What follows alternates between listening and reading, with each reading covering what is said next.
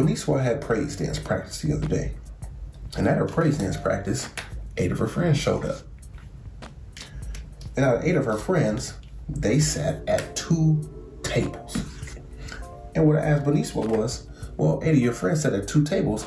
How many friends per table were there? She said, Baba Kentu, you know that's easy. Let's break it down together. I said, okay, let's do it. So I had eight of my friends there. And there's two tables. And what we want to find out is how many people per table there were. So the first thing we need to do is see how many twos can fit into eight. So we got two, obviously not enough.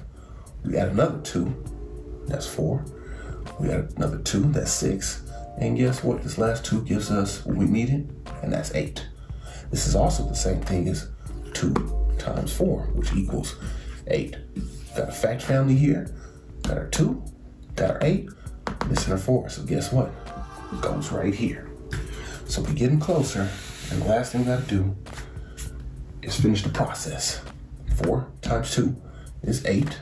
Subtract that out. Got zero. When you have zero at the bottom, that means the top number is your answer. And what that lets us know is that there were four people per table.